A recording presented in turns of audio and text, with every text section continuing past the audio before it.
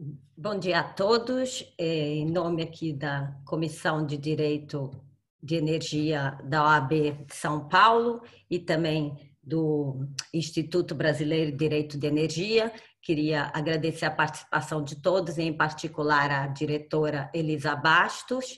É, me desculpar uma vez mais por termos tido termos adiado da, da quarta-feira e hoje é, a gente vai ter oportunidade de discutir aqui, entender, na verdade, a conta Covid.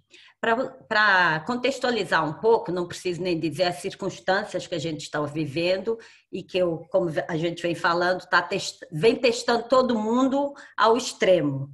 E os impactos no setor, de imediato, foram afetaram o setor imediatamente, a questão financeira, mais sentida aí nas distribuidoras, e a longo prazo também temos aí a questão também para lidar do impacto também no arrefecimento que se espera um pouco da economia, que obviamente também vai ter um impacto sobre o setor.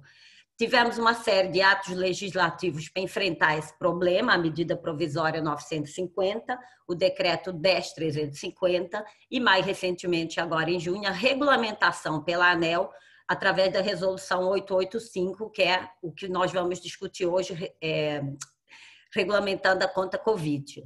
É, eu queria ressaltar, primeiramente, a, a, importância dessa conta como instrumento regulatório e no momento em que estamos vivendo, em particular, que exige mais do que a ação do órgão regulador, a criatividade de trazer soluções para um problema que afeta aparentemente só o setor, mas a gente não pode esquecer que o setor é o motor também para a recuperação da economia.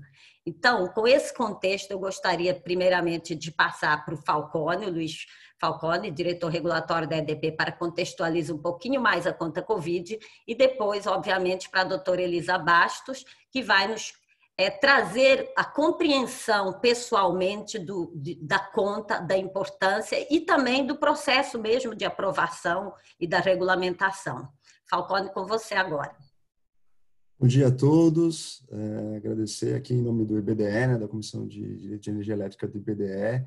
Eu e Maria João somos coordenadores lá. É, a parceria também com a OAB né, para a realização desse evento. Agradecer imensamente a Elisa né, pela oportunidade de estar aqui é, explicando para a gente, colocando o ponto de vista da, dela e do regulador. É sempre muito bom ouvir o regulador, sobre é, as, os desafios e como é criar a regulação. Eu acho que isso para a gente é realmente muito rico. Né? E, é, de fato, como a Maria João comentou, é, a conta Covid a gente tem discutido muito ao longo desses meses, não só a conta Covid, mas a estrutura toda né, que foi montada para se fazer frente a essa pandemia.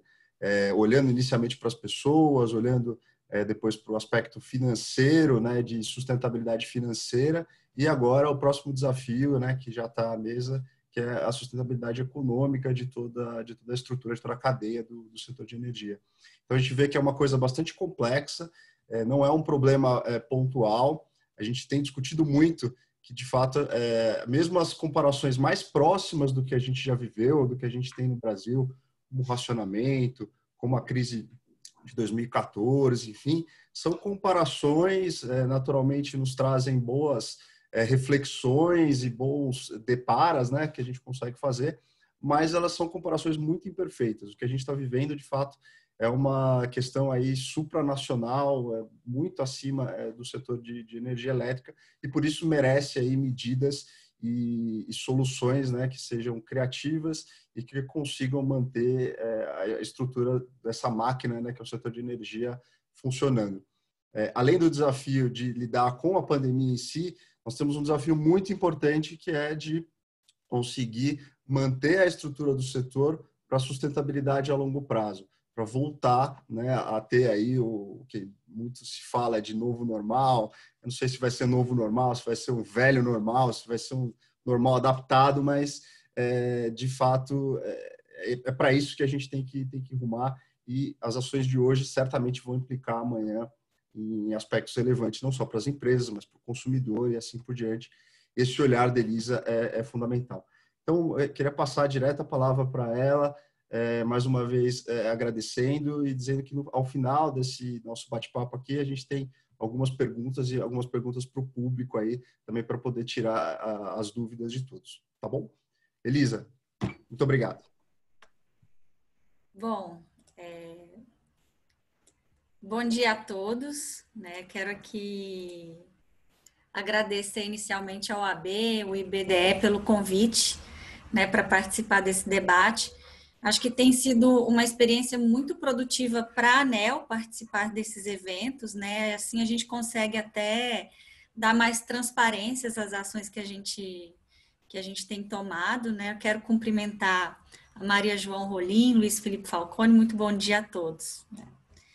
Bom, o tema do evento é, é conta Covid, mas para iniciar e antes mesmo de entrar nesse tema, eu acho que é importante destacar aqui todo o trabalho que a ANEL vem realizando desde o início da pandemia, né? Para conter os efeitos da Covid no setor elétrico, né? A gente teve que ser muito diligente para dar respostas em curto espaço de tempo, né? E que não comprometam e que não comprometessem o setor elétrico no, no pós-pandemia, que vai vir, né? A gente tem que estar preparado para continuar crescendo depois da pandemia. A gente tem tido dias muito intensos, né? A nossa equipe ela tem mostrado um grande empenho, muita dedicação. E eu acho que a nossa recompensa por todo esse trabalho da equipe da ANEL são esses resultados que a gente tem entregado para a sociedade, né? Acho que no começo de março a gente já publicou uma resolução normativa, que foi a 878, que essa resolução ela flexibilizou diversas obrigações das distribuidoras, suspendeu cortes de fornecimento de energia elétrica para aqueles consumidores residenciais e aqueles serviços essenciais. Essa resolução ela teve alguns prazos prorrogados, né? A gente abriu então uma consulta pública para debater a fase de transição dessas flexibilizações. É, eu também sou relatora dessa matéria. Né? A gente deve fechar a consulta pública nas próximas semanas pessoal lá dentro da agência tem até brincado, falado que tem colocado o selo Covid na bolinha do sorteio, né? E aí cai tudo comigo. Mas brincadeiras à parte, continuando, a gente, no segmento de transmissão, a gente tem tido ações também, né? A gente é, prorrogou os prazos para conclusão das obras em quatro meses, né? Dessas obras de transmissão. A gente antecipou parcela de ajuste desse, do segmento de transmissão, a gente reduziu o encargo de uso no segmento consumo, né? Isso para os meses de abril, maio e junho, isso foi quase meio bilhão de reais, essa medida. A gente também aumentou o prazo para solicitação, ainda falando de transmissão, para solicitar a postergação do início da execução de novos contratos de uso do sistema de transmissão, os custes. A gente ainda teve várias medidas, né? Outra delas, é, a gente pode citar o repasse para as distribuidoras e para os consumidores livres daquele fundo de reserva para alívio futuro de encargo. Né? O Falcone que teve na CCE sabe muito bem como é que funciona esse, esses, esses, esses encargos, né? E a gente continua estudando medidas para a gente mitigar os efeitos causados pela pandemia em toda a cadeia do setor, né? Nesse sentido, eu acho que é importante ressaltar que a ANEL vem dando essas respostas tempestivas né, e eficientes para todos os segmentos, de forma muito responsável e, como eu falei, olhando lá o day after, né, a pandemia vai acabar, como é que a gente vai deixar o nosso setor pra, preparado, né? Eu acho que, além disso, eu gosto sempre de destacar que todas essas nossas ações, elas têm sido calcadas em princípios que eu particularmente julgo muito importante, que são os princípios norteadores das decisões, né? Que são respeito ao contrato, que é fundamental para um setor eh, que, que de, de, grandes investimentos, vultuosos investimentos, como é o setor elétrico, né? Então, respeitar contrato é algo que é muito caro para a agência, né? Diálogo e transparência. Eu acho que nenhuma regulação ela caminha sem, sem esse tripé: respeitar contrato, dialogar e ter transparência nas ações. É, eu acho que são esses os princípios que dão credibilidade que a ANEL ela conquistou ao longo da sua história, né? O setor de energia elétrica apesar de ter essas dificuldades por causa da pandemia, está de pé, né? Então, eu acho que muito por causa dessa regulação forte é, e, desses, e dessas bases que são muito importantes, né? Eu acho que é nesse contexto de, de diversas medidas, né, para conter a pandemia, que vem a conta Covid. E que essa conta Covid, ela não é uma bala de prata. Ela não é uma, uma medida, uma solução única para resolver o problema da pandemia. Ela tem um objetivo, um objetivo específico, que ela vai atender, mas sem, sem analisar todas as outras medidas que foram feitas e todas as outras medidas que serão necessárias, é, é difícil dizer se será suficiente. Né? A gente não sabe a extensão da crise. Né? Então, essa conta Covid, ela foi um esforço conjunto do setor elétrico, não foi uma ideia da, só da ANEL, só do Ministério de Minas e Energia, foi uma solução conjunta, né, muito dialogada, para a gente encontrar uma solução de mercado, né, que não tivesse recursos do Tesouro Nacional. Então, a conta Covid não tem recurso algum fora do setor elétrico, né? E assim a gente tende a tentar mitigar a crise provocada, né? Essas discussões, elas foram iniciadas em abril, ainda no âmbito do Ministério de Minas e Energia, né? E o decreto 10.350, né, que a doutora Maria João colocou, ele foi publicado em maio, ele materializou essa política que foi encaminhada por meio da MP 950. E ela trouxe essas diretrizes e essas premissas para a gente criar a conta. A partir daí, a gente teve um grande desafio para definir aquele limite de captação do empréstimo, e foi um grande desafio. A gente teve que fazer previsão de redução de mercado, perda de arrecadação, isso não é muito simples de se fazer, né? E teve que considerar também aqueles, aqueles diferimentos, postergações dos processos tarifários que estavam previstos no decreto e também aquelas concessões de diferimentos feitas para os consumidores do grupo A. Né? Não foi um trabalho fácil, foi um trabalho muito desafiador. A gente tinha essa missão de, de estimar esses valores desde o início da pandemia até dezembro de 2020, né? A questão era como que a gente faria essas, essas estimativas consistentes diante de uma pandemia que o mundo ainda desconhece né, a extensão dessas consequências, a gente eh, não sabe exatamente como a economia vai permanecer, né, como é que a gente tem que atuar. Então, a gente lançou mão de toda a nossa capacidade técnica, a agência, isso virou prioridade zero da agência, e em poucos dias a gente conseguiu desenvolver modelos para essas estimativas, né. Para previsão de perda de arrecadação, a gente utilizou uma curva média Brasil, né, das distribuidoras Brasil, que representava um pouco essa expectativa de recuperação das distribuidoras, né, para fins de, de fazer frente à, à inadimplência. Né. Em paralelo, para estimar a redução de mercado, a gente teve que ir um pouco mais fundo, porque dependia também de modelos de previsão, né? Prever carga.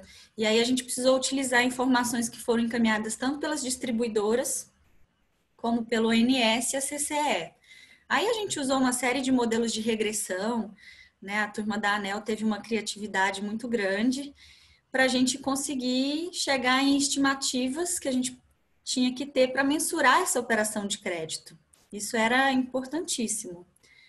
Né? E aí, para viabilizar a operação, a agência ainda teve que definir alguns critérios e procedimentos para a gente fazer a gestão da conta.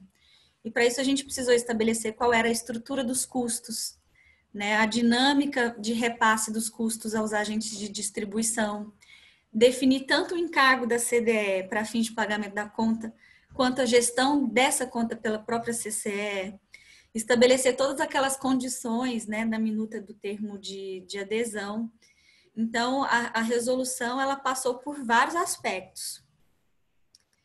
Tudo isso ainda tinha que passar pela avaliação da sociedade, né? A gente tinha ali uma dificuldade em ter que fazer muito rápido, mas ao mesmo tempo a gente não podia abrir mão de uma consulta pública.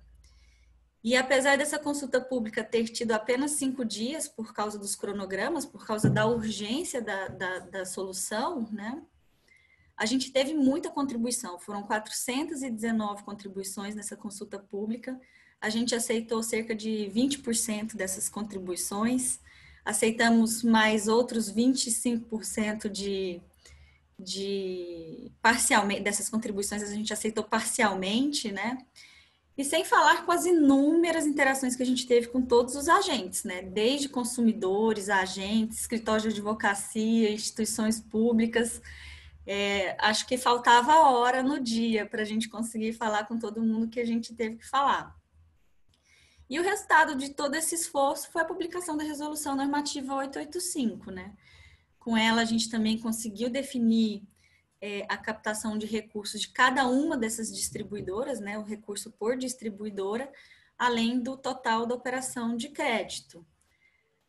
Aí, após aplicar todas essas metodologias definidas pelas áreas técnicas, que a gente utilizou os dados encaminhados pelas distribuidoras, como eu mencionei, a gente estabeleceu esse limite em pouco mais de 16 bilhões de reais, né, e, de novo, tudo isso ocorreu num curtíssimo espaço de tempo. Eu lembro aqui que uma semana da publicação do decreto, a ANEL já estava estudando a metodologia e já abriu a consulta pública, né? Hoje a gente está com a norma publicada e com a operacionalização da conta Covid já em fase final. Né? Essa, essa quantia aí de, de 16 bilhões que foi falada, né, que foi fixada, ela vai ser disponibilizada ao setor elétrico por meio de um pool de bancos, né? E vai ser paga pelos consumidores ao longo desses próximos 60 meses. Aí o empréstimo ele vai ter um custo de, de CDI mais um spread, as taxas taxas de estruturação de, de, de, da operação, enfim, e serão oferecidas de maneira conjunta pelos bancos, né, em condições uniformes para as distribuidoras. E aqui é importante deixar claro que todo esse recurso considerado na operação, ele já seria integralmente considerado nas contas de luz dos próximos processos tarifários. Né? Então, eles seriam pagos em 12 meses, agora eles serão pagos em 5 anos. Né? Então, a gente está falando aqui de antecipação de recurso e não de dinheiro novo. Isso é muito importante ficar claro. Né? Assim, quando a gente efetivar a operação da conta Covid, esse impacto dos 12 meses, ele será diluído em cinco anos. Né? A gente pode ver com isso que a conta Covid, ela vem como um benefício para os consumidores, né, que nesse momento estão com uma capacidade de pagamento comprometida, né, por causa da pandemia, do isolamento social, problemas econômicos, né. E prova disso que vem como benefício são as reduções nos impactos tarifários que a gente já teve nesses processos posteriores à, à, à publicação da Resolução 855, né? Mesmo antes da operação de crédito ela ser concretizada, alguns consumidores eles já começaram a perceber o alívio dessa medida na conta de energia elétrica. Esses, esses alívios eles é, foram bem representativos, né? Já chegou a reduzir até 70% esses aumentos tarifários que seriam percebidos pelos consumidores, caso não existisse a operação de crédito, né? Isso é muito importante nesse momento que a gente está passando. Isso foi possível porque a gente, na regulamentação, incluiu um dispositivo que permitia a distribuidora antecipar essa reversão de recursos, né, da conta Covid. E aí ele entrou como um componente negativo no reajuste tarifário. E assim a gente conseguiu é, é, dar esse alívio para as tarifas. É, eu eu tô, eu tô muito certa de que a conta Covid ela vai, ela vai trazer ganhos para todo o setor elétrico, né? Acho que além de beneficiar os consumidores com essa diluição de desembolsos, né, com, com a redução dos impactos tarifários, ela aumenta a liquidez no segmento de distribuição, que é a porta de entrada do setor elétrico. E com isso também ela possibilita que as distribuidoras elas possam honrar com suas obrigações contratuais, que é aquele princípio que a gente não abre mão, né? Com segmentos de geração e transmissão de energia, né? E mantém, assim, a sustentabilidade de toda a cadeia.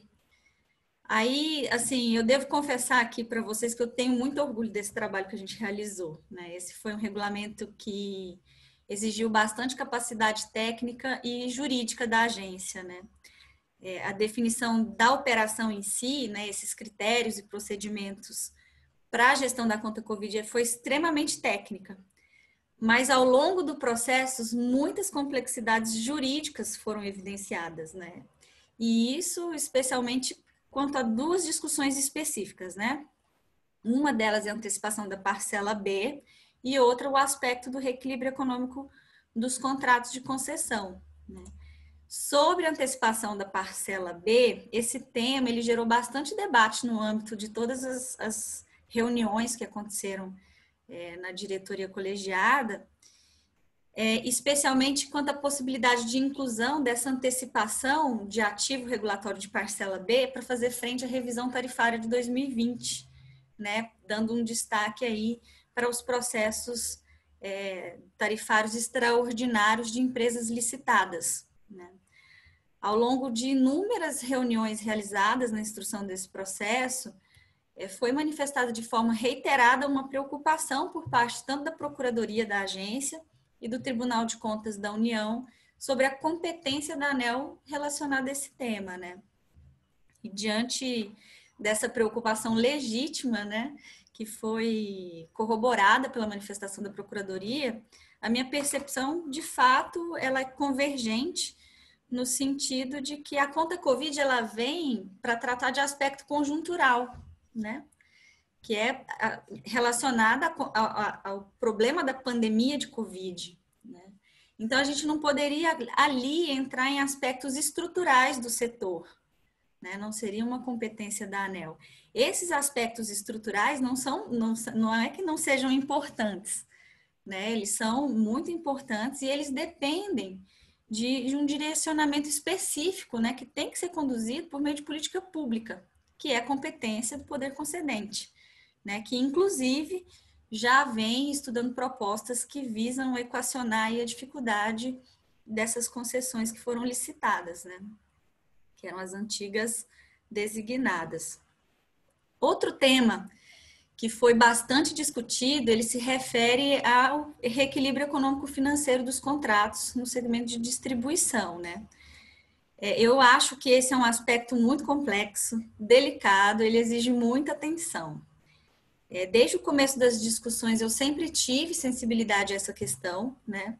De forma que essa proposta, que a proposta original para resolução normativa, ela veio com a intenção de solucionar um problema pontual apresentado pelos agentes de distribuição, né, ao longo da consulta pública, que era aquela necessidade de um tratamento excepcional para o problema de descumprimento de covenants, né, nos contratos de financiamento e debêntures, e com isso a gente originalmente até tinha feito uma proposta de tratamento é, contábil, né, na, na, na regulamentação.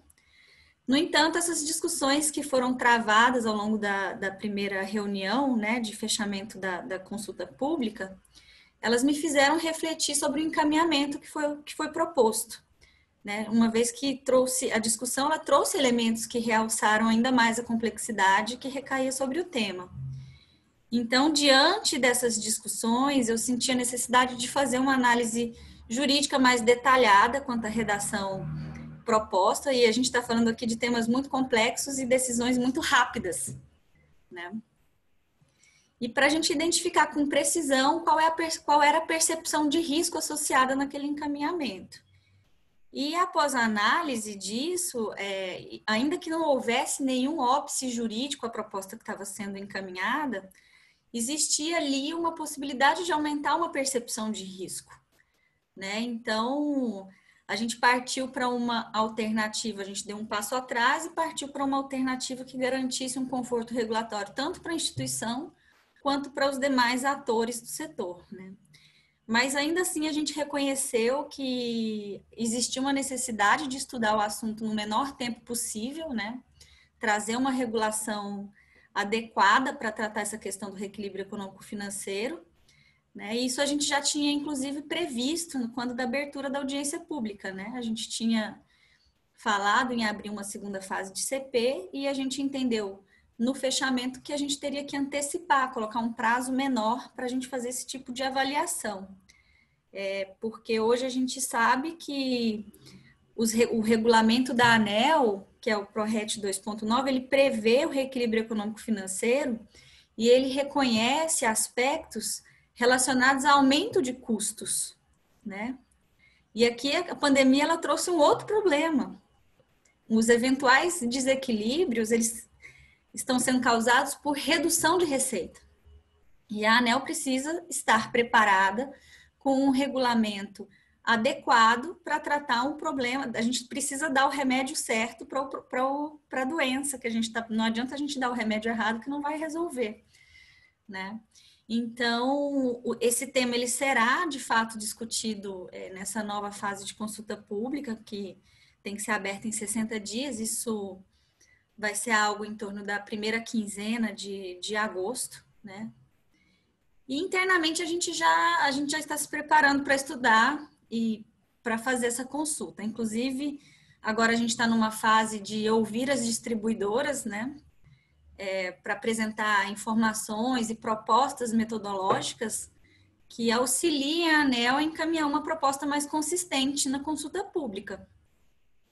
Isso porque é, é, é, certo, as, as, empresas elas têm mais clareza do que a ANEL sobre esses impactos que são gerados nas suas próprias concessões. Né? E também são elas, as empresas, que possuem os dados que comprovam esses alegados desequilíbrios. Né? Então, com isso, eu acho que elas podem nos ajudar a encontrar assim, os critérios mais adequados para a gente tratar o problema. É, a gente sabe que, que as distribuidoras, quando se comprometem né, a prestar esse serviço público de distribuição, elas assumem riscos próprios, né, a prestação de serviço. Mas, por outro lado, a gente sabe também que a Covid-19 ela veio e pegou todo mundo de surpresa. Né? A gente está diante de uma crise mundial sem precedente né, de extensão ainda incerta. A gente não sabe mensurar esses impactos neste momento. Né? Então, com isso, o nosso grande desafio agora é olhar ainda à luz da, da Lei 8987 né, da nossa própria Constituição Federal e tentar identificar dentre os impactos causados quais fazem parte dos riscos ordinários e quais são os riscos extraordinários. Esse é um grande desafio que a gente tem. É, eu tenho, apesar de não ser do mundo jurídico, né, eu tenho acompanhado todas essas discussões que estão bem amplas, né, em relação ao reequilíbrio econômico-financeiro de concessão, isso não só para o setor elétrico, né, e, e, a gente percebe que não existe ainda um consenso, né, de como que a gente trata os efeitos da pandemia nos contratos regulados e nas concessões de serviço público né? ainda tudo muito novo, né? Esse desequilíbrio causado pela Covid, ele tem características muito distintas do que a gente já enfrentou, como o Falcone bem colocou na sua fala inicial, né? E a gente está diante de um desequilíbrio que não teve origem no setor elétrico e que não pode ser atribuído a nenhuma das partes do contrato, né? A gente está diante de uma crise que afetou todo mundo, né? Consumidor, investidor, todo mundo está afetado. Né? Acho que por isso, e, e, até nesse cenário, as discussões sobre, sobre o reequilíbrio econômico-financeiro tem muitas nuances, né? E assim, acho que a solução ela não é óbvia. Né? Embora, embora a pandemia seja, sem sombra de dúvidas, um fato imprevisível e de consequências ainda incalculáveis, ela afetou as distribuidoras em aspectos fortemente relacionados aos riscos intrínsecos do negócio dela, né? Como o mercado, redução de mercado e a própria inadimplência, que se fossem condições normais, os riscos seriam da, da própria distribuidora. O nosso grande desafio agora é tentar isolar os efeitos da pandemia, dessas ineficiências que já são pré-existentes. Né? A gente precisa conseguir separar o joio do trigo e encontrar alguma solução que respeitem esses contratos firmados e, ao mesmo tempo, garantam o equilíbrio dessas concessões. E tentar alocar o risco adequadamente, né? porque a gente tem que manter a sustentabilidade dos contratos de concessão, mas a gente também precisa olhar para o aspecto de modicidade tarifária e para os consumidores. Né? Aqui é um, é um jogo de equilibrar prato e a gente não pode deixar nenhum deles cair. Né? A ANEL tem essa essa função. Eu acho, eu espero até que nesse debate, inclusive, com a participação aqui de juristas e advogados nessa, nas pessoas que nos escutam, acho que talvez se quiserem compartilhar com a gente experiência jurídica, né, que é relevante para esse tema, acho que será muito bem-vindo, né? Mas voltando aqui para a conta Covid, acho que agora eu vou falar um pouco dos passos que vão seguir a resolução, né? A ANEL ela já está entrando na etapa final dessa efetivação da conta. O prazo que a gente tinha para que as empresas nos encaminhassem os termos de aceitação foi encerrado na última sexta-feira. Foi uma excelente adesão, a gente teve 61 adesões à conta, né? foram 50 distribuidoras e 11 permissionárias. A gente teve um valor aí requerido de, a gente tinha um limite de 16,2 e o valor requerido pelas distribuidoras foi de 14,8 bilhões, ou seja, 92% é, do limite estabelecido de 16 bilhões, né? E aqui eu acho que cabe destacar também que a equipe técnica da ANEL deu mais um show de coordenação, né? Que em menos de cinco dias em, em relação a esse termo de aceitação, a ANEL respondeu mais de 130 pedidos de esclarecimentos quanto ao preenchimento do termo. Né? Então, a gente teve que montar uma, uma força-tarefa para poder esclarecer e ajudar todas as distribuidoras nesse período. Acho que isso aí é mais uma prova de que a ANEL está preparada para lidar com problemas complexos em tempos muito curtos, né? Mas retomando, é, e aí voltando mais agora para os aspectos é, do empréstimo em si, a gente teve 19 instituições, né, para a formação do consórcio do banco, que, de bancos, né, que foi coordenado aí pelo BNDES. Essas instituições, elas, elas dispuseram 19 bilhões, né, para empréstimo, mas aí a gente tem aquele teto de 16 bilhões, mas serão efetivamente contratados os 14,8 bilhões declarados pelas distribuidoras. Desse total de 14,8, 30% vem de banco público, né? BNDES, Banco do Brasil, especialmente, e os outros 70 de instituições privadas, nacionais e internacionais, né? E aqui, aqui tem uma informação interessante, que é o custo da operação, né? A gente pode ver esse custo de várias formas, né? O custo da operação da conta Covid ele vai ficar aí PCA mais 5% ao ano, isso significa que é CDI mais 2,8% ao ano. Claro que ainda tem aquelas taxas, é, são taxas de estruturação da operação, que isso também tem que se acrescer, mas o spread que a gente está falando para essa conta é de 2,8% ao ano, né? E aí eu acho que cabe fazer uma diferenciação desse empréstimo da conta Covid com a operação que foi semelhante, realizada em 2014, que foi da conta CR, né? Quando a gente compara IPCA mais 5% ao ano para a conta Covid, lá atrás foi IPCA mais 9,5% ao ano, né? Então, a gente tem aí uma... Quando a gente fala de CDI, tem uma diferença porque na conta CR a gente precisou de três tranches, né? A primeira tranche foi CDI mais 2,5%, de spread, na segunda tranche CDI mais 2,9 e na terceira tranche CDI mais 3,15% ao ano. Né? E considerando que CDI em 2014 estava mais de 10% ao ano e agora está em torno de 2%. Então, a gente tem aí uma, uma um custo de operação é, equivalente ou melhor do que, do que foi feito é, na conta CR lá em 2014, né? E aqui também tem um ponto interessante que eu gostaria de, de falar, porque tem algumas mídias que têm publicado matérias comparando esses custos da conta Covid com financiamentos recentemente realizados por empresas de distribuição. Né? Acho que é importante entender que existe uma diferença entre o empréstimo a ser consolidado pela conta Covid e esses financiamentos aprovados nos últimos três meses pelo próprio BNDES, né, para transmissão, distribuição e geração. É, isso porque os financiamentos concedidos pelo BNDES nesses últimos três meses, eles não são de livre utilização. Né, eles não se destinam a capital de giro das empresas, mas eles se destinam sim aos investimentos a serem realizados no âmbito dessas concessões. Né? Então, em geral, por isso eles têm um custo um pouco mais baixo.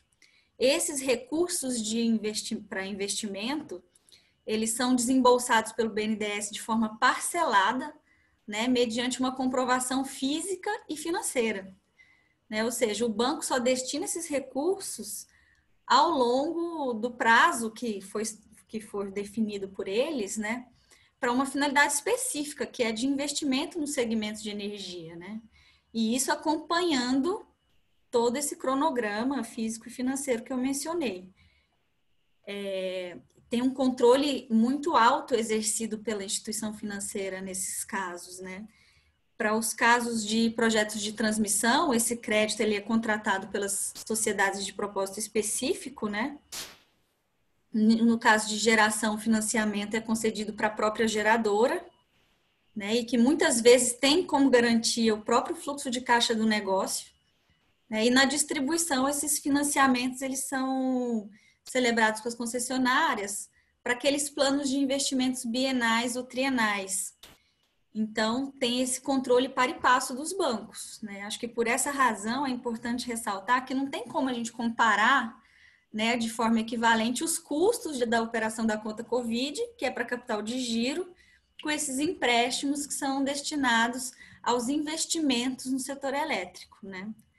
Mas, assim, fechando esse parêntese que eu achei relevante trazer, né, para título de comparação, e ainda falando um pouquinho, e já quase finalizando, é, sobre os próximos passos, a ANEL ainda ontem já informou ao BNDES, né, os valores e desembolsos mensais da operação, né, assim como os valores que foram requeridos pela empresa.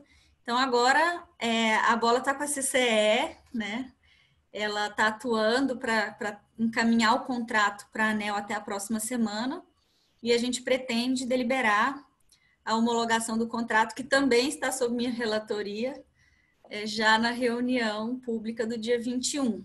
Né? E aí, com isso, a gente espera que a gente tenha o primeiro desembolso para essas distribuidoras ainda no mês de julho. Né? E até o final do ano, a gente ainda vai ter a avaliação mensal, né? Mês a mês, a gente vai olhar os valores contabilizados desses ativos regulatórios para cada uma das, das concessões, né? Com o objetivo de homologar esses repasses mensais. Eles terão que ser feitos mensalmente, conforme disposto lá na resolução. Isso aí até dezembro, né? E aí, com a chegada do próximo ano, a gente vai ter tempo de definir quais são essas cotas de CDE, que serão a CDE, que será a CDE Covid, né, que serão recolhidas a partir do ano de 2021. Isso até a total amortização do empréstimo. Então, como a gente pode ver, a gente ainda vai falar de conta Covid por um longo tempo. Né? Acho que eu saio da ANEL e o pessoal na ANEL ainda vai continuar tratando de conta Covid. Mas, enfim, acho que é, eram esses os comentários que eu queria fazer inicialmente. Acho que a gente pode encerrar essa fala inicial aqui para propiciar o debate. E agradeço mais uma vez o convite para estar aqui com vocês.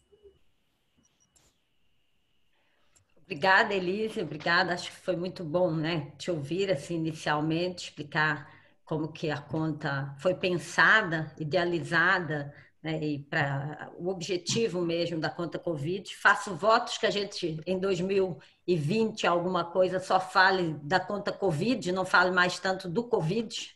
Né? Espero que a gente já tenha vacina ou algo desse tipo e que a gente só tenha que pagar a conta, né? Mas eu vou tentar é, te passar um pouquinho aqui das questões que você deve estar vendo um pouquinho aí também no bate-papo, tentando trazer algumas e também passar para o Falcone aí para fazer suas considerações.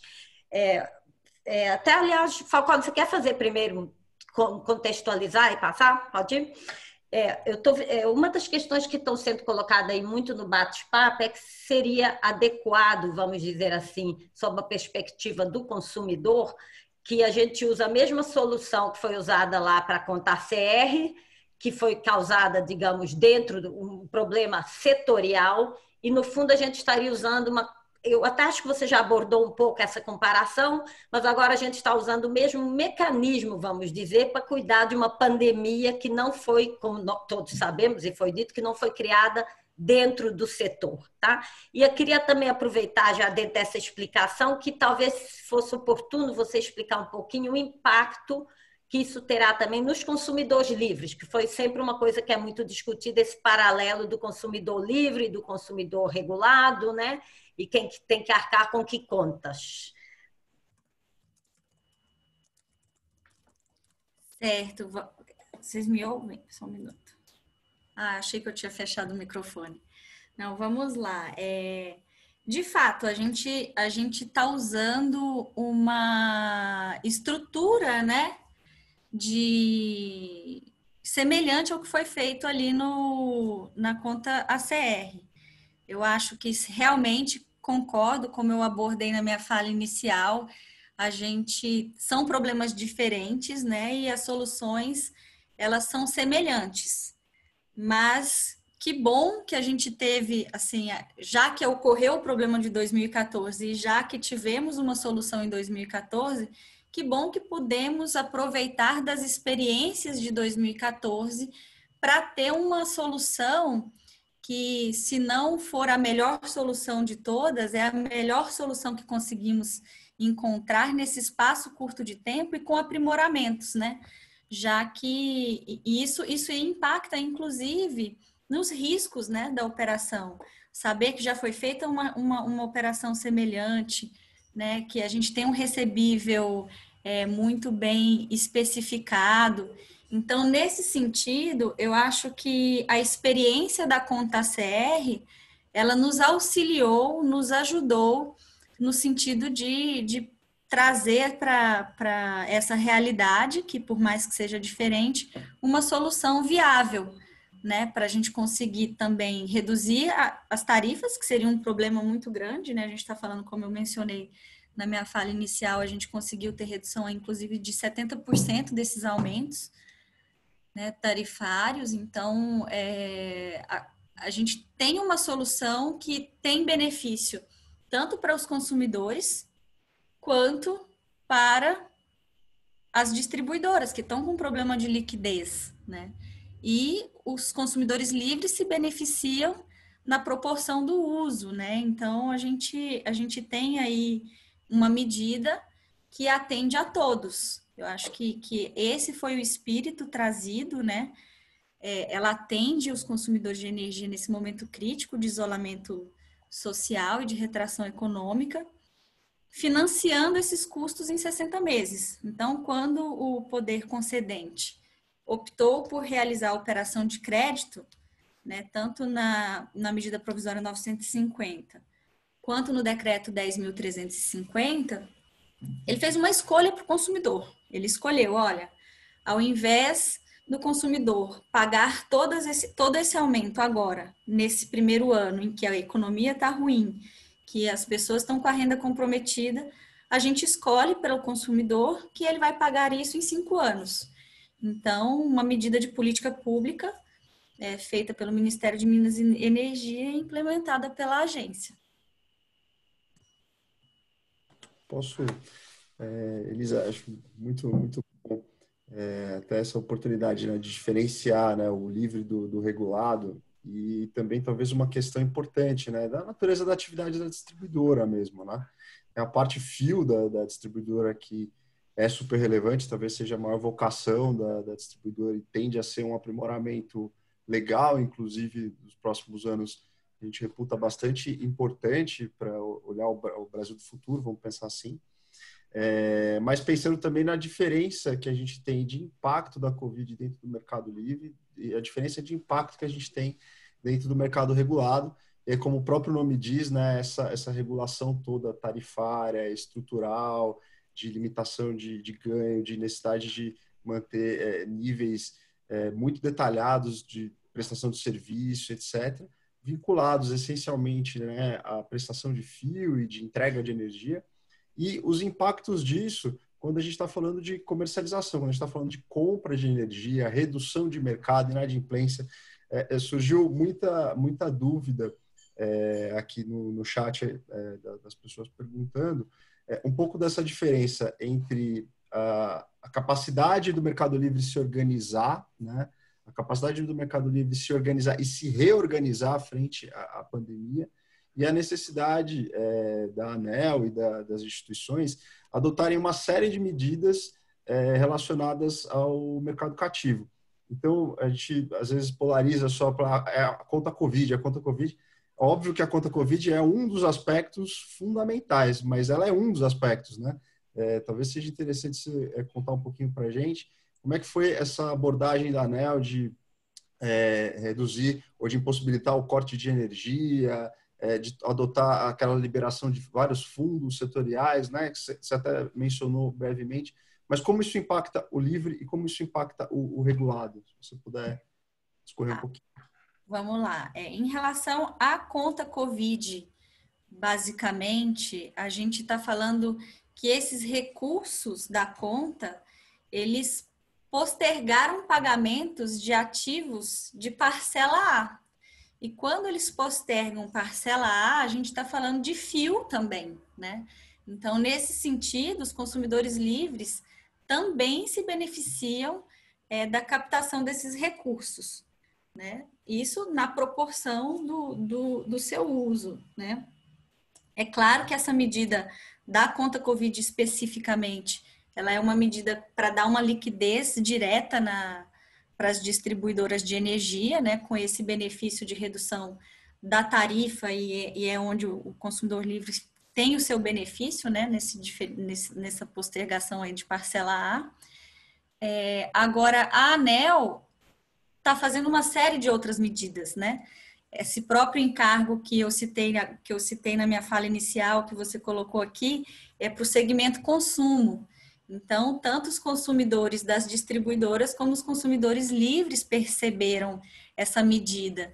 E a ANEL, desde o começo, ela tem tido uma preocupação muito grande, porque enquanto o Ministério de Minas e Energia estava tratando da, da medida provisória, do decreto, e a ANEL participou dessas, dessas discussões, a ANEL não estava parada. A ANEL criou o grupo de monitoramento do setor elétrico, né, que foi uma decisão muito acertada para a gente conseguir é, agregar, né, centralizar todas essas demandas que estavam chegando a respeito do, dos, dos, dos problemas advindos da pandemia, da Covid, e várias medidas foram tomadas, muitas estudadas para cada segmento.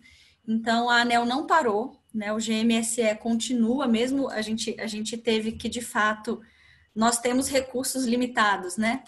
Então a gente teve que fazer uma força-tarefa aí para conseguir fazer a operacionalização da conta, mas a ANEL não parou de olhar todas as outras possibilidades que tem aí pela frente para a gente conseguir é, continuar avaliando medidas para os consumidores e a, e a gente para todos os consumidores, né? A gente fala consumidor, a gente não não está não está restringindo aqui consumidores regulados, consumidores livres. É claro que as medidas que a gente faz é para a gente resolver um problema setorial. Né? A, a, ANEL ela tem um compromisso de equilíbrio com o setor. Né? E quando a gente fala de equilíbrio, a gente fala de instituições, de consumidores sejam regulados, sejam livres, a gente fala de todos os agentes envolvidos. Né? A agência não é PROCON, né? A agência precisa procurar esse equilíbrio é, para as instituições, então, assim, a gente tem que ter esse olhar amplo e é assim que a gente tem trabalhado e buscado analisar e focar as nossas ações.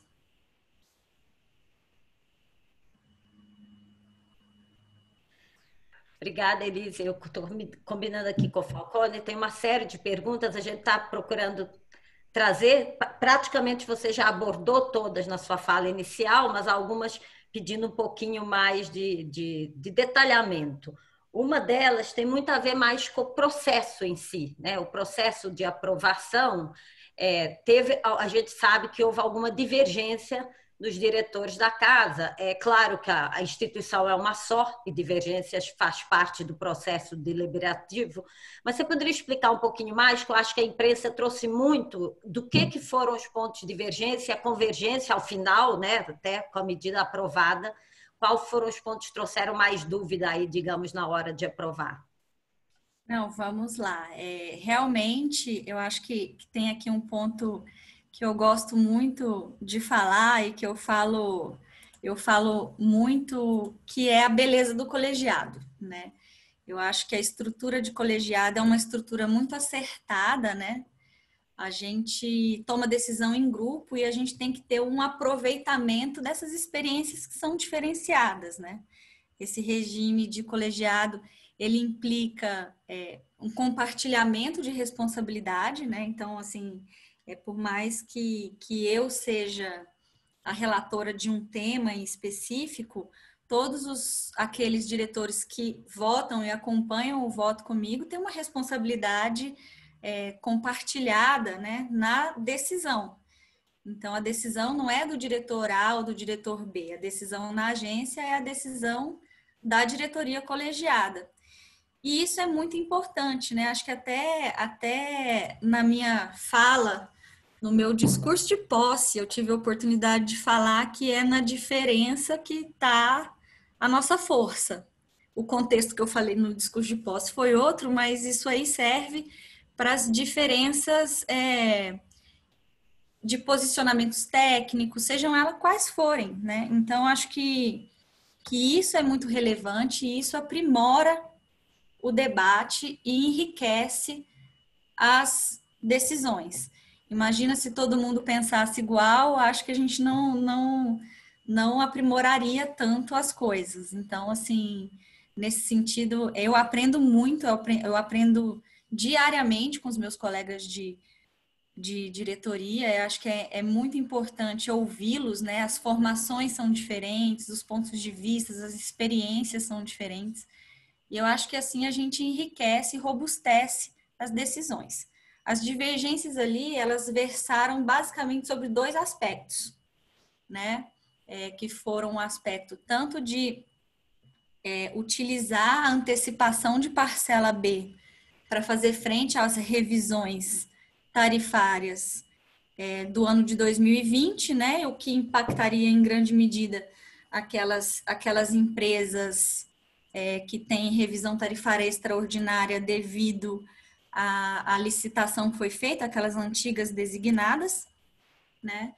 E, e como eu, eu mencionei, é, esse é um aspecto que, tecnicamente, se você for olhar a proposta encaminhada ali pelo diretor Sandoval, quando da abertura da audiência pública, que ele pediu para que, que avaliasse, o mérito é muito relevante. A gente não quer fazer uma conta Covid é, que, que resolvam um problema de boa parte do Brasil e parte dele, por causa dessas revisões extraordinárias, é, não percebam aí uma, uma redução tarifária. Então, a motivação é muito válida e é muito importante e relevante, tanto que acolhi para fazer a avaliação no âmbito da consulta pública. Mas, ao decorrer da, das, das discussões, o que a gente percebeu ali foi que o mérito é interessante, mas esse é um problema estrutural, né? Então, assim, a gente está falando de um problema que a gente já, já entende as razões pelas quais essas empresas foram licitadas e a gente já previa que essas revisões tarifárias trariam impactos de certa, em certa medida relevantes, né, para aquelas concessões. E utilizar um mecanismo que foi feito para tratar um aspecto conjuntural, que é da pandemia, para resolver um aspecto estrutural, no meu ponto de vista, fugiria da competência da ANEL, porque isso passaria por política pública. Então, nesse sentido, houve a divergência, né? Então, foi, foi um tema muito debatido. A gente conversou muito, muito, muito, muito, muito entre os diretores, entre o é, Ministério de Minas e Energia, Tribunal de Contas da União, as próprias empresas. Reuniões com áreas técnicas foram infinitas, né? E por mais que a gente perceba que, ter, que teria um potencial de trazer um benefício, a gente se viu amarrado na questão da governança, da competência para fazer, né? Então, nesse sentido, a gente entrou em contato com o Ministério, o Ministério de Minas e Energia, ele já está avaliando medidas estruturais para tratar essas questões dessas empresas. Então, é, esse foi um debate que, de fato, teve divergência e, e, e acabou que a gente não acolheu a inclusão da antecipação de parcela B para fazer frente a essas revisões. O outro aspecto relevante que trouxe muita discussão seria a possibilidade. Quando a gente abriu a consulta pública, a gente já, já tinha colocado que haveria uma segunda fase para análise do reequilíbrio econômico-financeiro. Né? Então, a discussão das empresas, ela começou, não foi na regulamentação da ANEL. Acho que a, a, o pleito para que fosse avaliado o equilíbrio econômico-financeiro das concessões, ele se iniciou desde a formatação do decreto.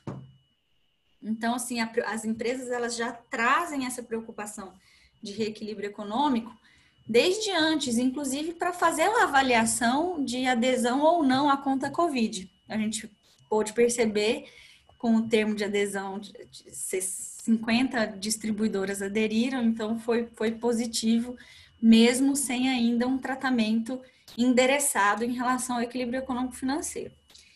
E aí a preocupação foi no sentido de, poxa, como é que eu vou fazer uma contabilização, né, uma, em aspectos contábeis, sem trazer problemas para os meus covenants, já que eu estou tendo uma queda de receita que não sou eu que estou dando causa, é uma pandemia, né?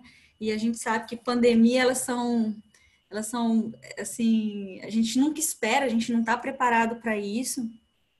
Por mais que a gente considere que os riscos de, de mercado das distribuidoras, né, sejam, tenham que, de certa forma, capturar uma pandemia, a gente não espera.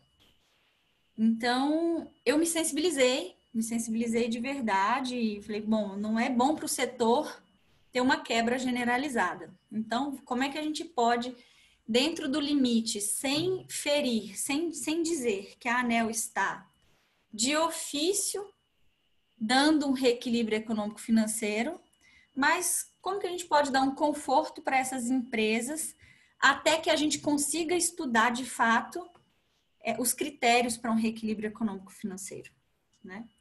Então, esse foi o racional. E aí a gente chegou num texto que foi até foram os parágrafos que foram retirados lá do artigo 15 da resolução que tratava do reequilíbrio econômico-financeiro, que que tratava do aspecto contábil, né, que, que, que autorizava a, a, a, empresa a criar lá um, um, registro contábil, e a gente teve interações, inclusive, com a CVM, Ibracon, que, com, com os auditores do, do, do, contábeis, né, das distribuidoras, foi, assim, uma conversa muito extensa, com os próprios bancos, para entender como é que funciona essa quebra de covenants, né, e entender como é que estava esse panorama geral. E chegamos numa redação que juridicamente não teria problema, não acho que a gente a gente deixou isso muito claro, a gente fez interações com a CVM para ver se a gente estaria é, dando um passo além da competência da ANEL, porque a, a gente tem essa preocupação com governança.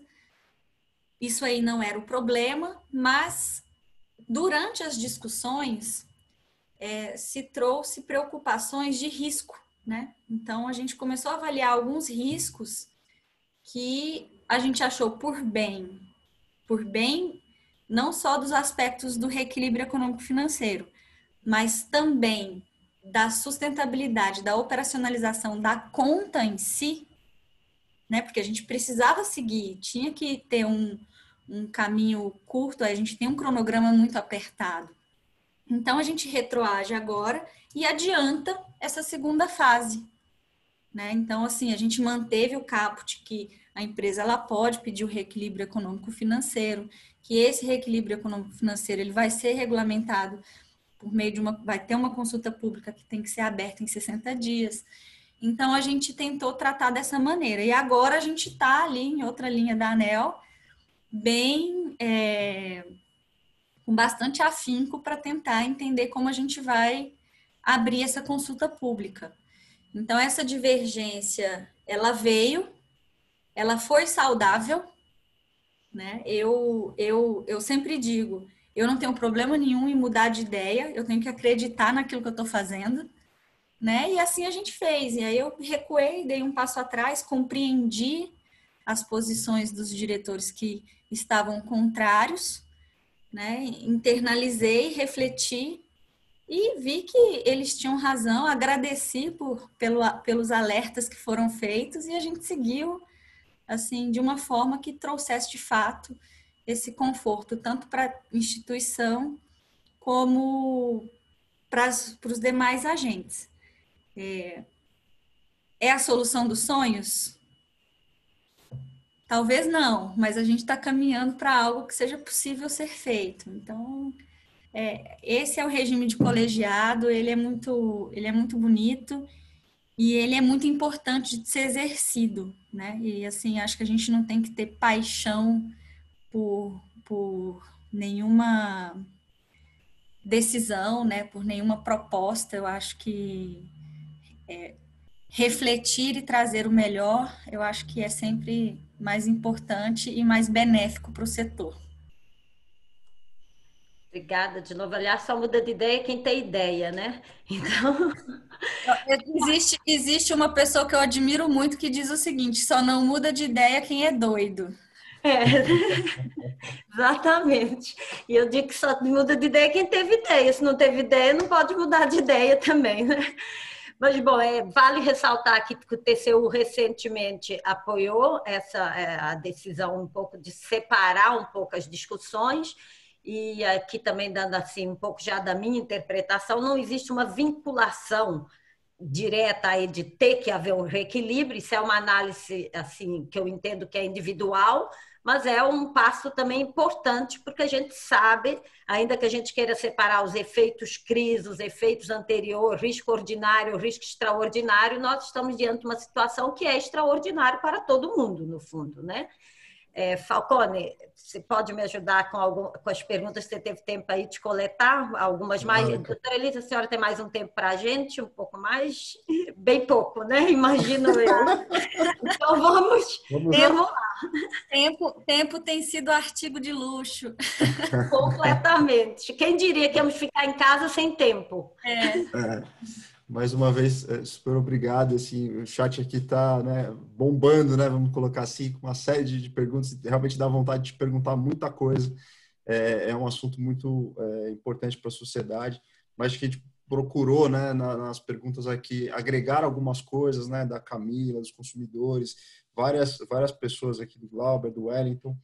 É, eu queria te fazer, é, tentar consolidar uma última pergunta na linha das permissionárias, né, que foi uma pergunta aqui do Juan, você até falou bastante é, sobre a, a, condição da agência, né, de ouvir todos os players, de buscar uma solução que buscasse integrar é, a necessidade de olhar para o consumidor, mas a necessidade também de é, olhar para o setor de forma estruturante, tentando balancear um pouco dessas coisas. Eu queria que você desse uma, uma pitadinha sobre as permissionárias. E surgiu muita coisa aqui, Elisa, é, várias perguntas aqui, Tiago, Davi, é, várias pessoas perguntando sobre os efeitos de redução de mercado e um pouquinho dos efeitos de inadimplência. Como isso é percebido pelo consumidor ao longo da crise e, e como é que é a, a, a, visão aí de uma solução que seja uma solução, novamente, né, é, é equilibrada dentro do setor, olhando é, todo o leque né, que a agência tem a, a obrigação de, de fazer e tem feito. Eu acho que essa é a pergunta. Bom, é, em relação às permissionárias, ah, nós tivemos é, muitas interações também, fizemos interações com a Associação das, de, de Permissionárias, é, acho que, que foi muito relevante, as permissionárias, elas, elas são diferentes das concessionárias, né? Então, tem um, um, uma forma de olhar diferente, e tivemos 11 permissionárias que aderiram à conta, né? Então, a gente teve, deu todo o suporte e elas, elas terão esses, esses, esses impactos positivos né, nas, suas, nas suas permissões. Acho que as permissionárias elas tiveram o mesmo cuidado que as concessionárias na hora de, de avaliação da conta. É, em relação à segunda pergunta, Falcone, se puder repetir, eu agradeço. É sobre a, a estrutura, assim, como é que você vê é, a redução de mercado, inadimplência, esses efeitos para o consumidor e para o setor, né, para a distribuidora e para o restante do setor. Como você vê essa, essa visão de equilíbrio entre é, da redução de mercado e inadimplência, como isso afeta o setor? Quais são as medidas que você está pensando, Elisa? É, a redução de mercado e a inadimplência, ela afetam sobremaneira o setor como um todo. Inicialmente, as distribuidoras. Mas a gente, quando fala em mercado, a gente fala num, num, num planejamento que é definido cinco anos com antecedência, de antecedência, né? Então a gente tá, a gente faz a energia que iria entrar em 2020, ela foi contratada em 2015, 2016, 2017. Então assim existe todo um planejamento que acaba se frustrando. Então a gente tem contratos de energia para honrar e uma energia que não está sendo consumida. Né? Claro que a gente tem que diferenciar que não são todos os segmentos que tiveram essa redução. Né? A gente percebe um aumento de consumo quando a gente fala de, de consumidores residenciais, né? E, e, o setor elétrico é, é um elo, né? Você não pode é, dar um assim é, eu não posso penalizar empresas, eu não posso é, deixar que essas empresas tenham prejuízo, porque se eu faço isso hoje para tentar proteger o consumidor hoje, no médio, no médio prazo, esse consumidor ele vai, ele vai, ele vai sentir essa medida. Então, todas as medidas que a gente tem que tomar no setor elétrico, tanto para redução de, de carga, é, inadimplência, eu acho que tem aí muito a ver com essas propostas de reequilíbrio econômico que, serão avaliadas, né? Isso é intimamente ligado a isso. A gente tem feito um monitoramento dentro da ANEL, né? Tanto da redução de carga como da inadimplência. A gente já percebe uma inadimplência voltando aí, é, melhorando um pouco para essas empresas. Eu acho que esses três meses, o que aconteceu já é fato consumado, né? Mas a gente percebe que tem, tem tido uma, uma recuperação de inadimplência. Então a gente tem que tratar com esse olhar, com esse olhar combinado, né? Instituições, é, agentes e consumidor. O impacto é para todo mundo. O impacto é para todo mundo. Não tem, não tem como, numa crise sem precedente como essa, é, dizer que o consumidor não, não é impactado pela inadimplência, ele é impactado pela inadimplência, né? Ele, não, ele, ele está inadimplente porque ele está sem recurso, né? Então, assim, a gente está falando de uma crise muito maior do que a do setor elétrico. E a gente está falando, porque veja, eu acho que quando a gente fala de pandemia, a gente tem que entender que pandemia é uma tragédia que ela afeta diferentes grupos de maneira totalmente diferentes, né? E a gente tem que ver que o setor elétrico ele é bem melhor do que outros grupos aí de infraestrutura. É, a gente está fazendo essa, essa, conta Covid, ela veio no sentido de, de trazer uma solução que é do setor elétrico. Não tem dinheiro, não tem recurso do tesouro. É, a gente está fazendo uma antecipação de recursos próprios do setor elétrico. Então, assim, a redução de mercado e a inadimplência são questões é, importantes que estão sendo monitoradas, que estão sendo tratadas no âmbito da segunda fase da CP 35. É, como essa alocação será feita, a gente ainda vai, vai discutir em âmbito de consulta pública. É, agora, a gente precisa acreditar no regulador, eu acho que a gente precisa ter essa força que o regulador é, e acreditar que o regulador ele está aqui para cumprir contrato. É isso que a ANEL tem feito ao longo desses anos, né? Essa reputação da ANEL não tá não é grande do jeito que é, se não fosse a, a, o cumprimento aos contratos, né? Os investimentos no setor são vultuosos, porque a gente cumpre contrato. E as soluções, elas têm que ser estruturadas, né? Ela não tem, não tem que partir só do regulador, ela tem que vir do regulador, do poder concedente, das próprias empresas, Né? As empresas elas têm mecanismos de combater inadimplência e não é só corte. Elas podem parcelar, elas podem usar cartão de crédito, elas podem se reinventar. As crises elas trazem oportunidades para a gente se reinventar. Então as empresas vão ter que fazer uma parte, as, a, o regulador a, a outra parte, o poder concedente outra parte para a gente conseguir sair bem. Impactos, é, infelizmente, é para todos numa crise dessas, infelizmente. Mas a gente vai sair dessa e vai sair mais forte. Ótimo. É, bom, eu já vou passar para a Maria João, então, fazer a última pergunta. Só queria é, agradecer a todos aqui, já em virtude do tempo, economizando tempo aqui, é, dizer que a gente também vai endereçar todas as perguntas que estão aqui no chat né, para a Elisa, para a assessoria também, para poder responder isso depois com, com mais calma. A gente buscou fazer um apanhado delas. E passando já para Maria João fazer a última pergunta, agradeço imensamente a, a, todos, e especialmente a Elisa aí pelo tempo e pelas explicações é, muito valiosas para a gente. Obrigado. Obrigada, Falcone. É, de fato, muito, muito relevante a gente realmente ter tido essa conversa. Teria conversa para muito mais. Alguma coisa a gente vai aprender ao longo do tempo estamos todos aprendendo, ninguém sabe, então tem muita discussão se a conta é suficiente, se não é suficiente. A gente não sabe, né? Quem dera a gente soubesse que é suficiente. Mas também tem, tem algumas questões jurídicas, como o Falcone colocou ali, muito mais jurídicas que a gente vai tentar endereçar até para a sua assessoria. Acho que não seria muito justo. Deve perguntar para a Elisa que se é constitucional, se não é constitucional. Acho que é mais para a procuradoria e para a sua assessoria, que eu sei que tem advogados também.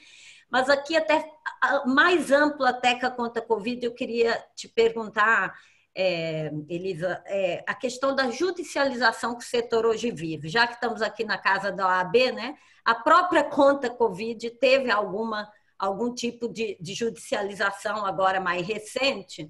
Então, gostaria de saber mais a sua posição geral, não só da conta Covid, como que o setor, como que você vê essa onda de judicialização. E eu digo que eu gosto de usar a palavra entre aspas, porque como não poderia deixar de ser, ir ao judiciário é um direito de quem se sente inconformado, mas essa onda que a gente vê de uma insatisfação, questionar a, as decisões da agência por meio de um volume de judicialização. Como que você vê isso e o papel que a agência podia ter em tentar eliminar isso, que tem um custo grande também para toda a sociedade pra, e para esse trabalho todo que está sendo feito? Não, sem dúvidas. Eu acho que esse aspecto de judicialização é muito relevante mesmo. Eu acho que quando a gente trabalha com muito diálogo e muita transparência, a gente reduz esse, esse tipo de, de problema, a gente reduz a judicialização. Mas acho que é importante aqui pontuar que a judicialização ela não é um problema só do setor elétrico, né? Eu acho que a nossa própria Constituição ela trouxe para todos os cidadãos brasileiros esse direito de acesso né, à justiça. Né? E esse acesso à justiça ele é fundamental e ele tem que ser consolidado assim. Né? É, eu acho que o setor elétrico, por ser regulado, né, e tem diversas normas né, que caracterizam por serem muito específicas, é, muito técnicas, né? A gente tem muitas, é, a gente tem muita regra, a gente tem muita resolução, a gente tem muito caso específico. É, e a gente tem percebido um aumento grande mesmo na, na, na judicialização. Acho que é, desde o final aí de 2012, né, a judicialização de conflitos se tornou, acho que, um dos principais desafios a serem superados pelo, pelo setor elétrico, né? E eu acho que alterações legais, regulatórias, é, trouxeram alguns questionamentos, né? E que e isso intensificou o acionamento da justiça. Eu acho que a descentralização de, de, de soluções de conflitos né, que, que envolvem o setor elétrico é, complica ainda mais esse cenário de, de judicialização do setor. Mas é, ao mesmo tempo é lícito, né? é justo esse acionamento ao judiciário. Eu acho que a gente tem que, tem que tentar é, simplificar, trazer regras mais claras. Eu acho que a ANEL já faz isso de certa forma é, com as consultas públicas, com transparência, com diálogo. E o caso concreto, é, a ANEL, ela sempre, as, as, as decisões da ANEL, elas sempre agradam uns e desagradam outros.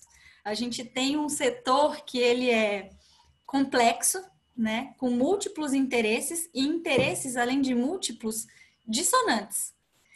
Então, é, acho que isso aí traz mais ainda à tona esse aspecto de judicialização. É claro que normas bem colocadas, é, a modernização do setor elétrico que vem por aí, que estava com muita força, agora deu uma parada por causa da Covid, mas vai voltar com muita força, vai ser importante para trazer novas estruturas, né, com regula... e aí a gente pode tratar em regulamentações mais fortes para evitar judicialização. Agora, é um direito e eu acho que, que enquanto tiver alguém que não está satisfeito, esse acesso à justiça vai ser utilizado e a gente tem que entender e, e fazer a nossa parte para mostrar o nosso ponto de vista e tentar reduzir, porque não é desejável, né? Não é desejável. Uma regulação forte reduz esse, esse, esse aumento de judicialização. Obrigada, Elisa. A gente teria milhares de outras perguntas, mas eu entendo perfeitamente que a gente não tem tempo. Acho que a OAB, é, o objetivo da OAB, da nossa comissão, que eu tenho tentado, junto aí com o Falcone, do Instituto também Direito e Energia e tantos outros, é realmente trazer esse espaço para intensificar mais essa relação da agência com o público, né? E, com a sociedade em geral e, de, e dos entes todos. Então, nossa ideia é sempre trazer pessoas para conversar e dar essa transparência que evita realmente uma judicialização, mas nunca ao ponto de não haver. Essa é uma verdade que a gente tem que ter, né? bom também para os advogados, né, que precisam também trabalhar, mas todo mundo tem sempre, a nossa Constituição tem essa complexidade, como a doutora Elisa falou, é fato, tem fala de tudo e por isso traz sempre uma possibilidade de alguém discordar. Eu acho muito salutar, na verdade, eu acho que apesar de estar tá intensificado, a minha opinião pessoal é que é salutar e é evolutivo. E, de fato, as normas mais tranquilas, mais menos complexas dentro do possível, sempre ajudam a reduzir. Eu queria realmente agradecer. Tem outras questões aí já ligadas mais até à modernização mesmo do, do setor, ligadas ao papel uhum. futuro da, da distribuição, papel da GD, que eu acho que a gente vai ter muita oportunidade de falar, né? Eu, e outras oportunidades. Eu realmente queria agradecer a agenda, o tempo, agradecer a todos que estão nos ouvindo, deu muita participação e esperar vocês para um próximo encontro. Agradecer o Falcone aqui, que me ajudou bastante aqui também. Muito obrigada a todos, obrigada, Elisa. A gente realmente espera poder ter uma segunda rodada com você, de outras perguntas. Já que você está ficando com a conta Covid, que o Covid está caindo para você, a gente vai ter muito que falar ainda.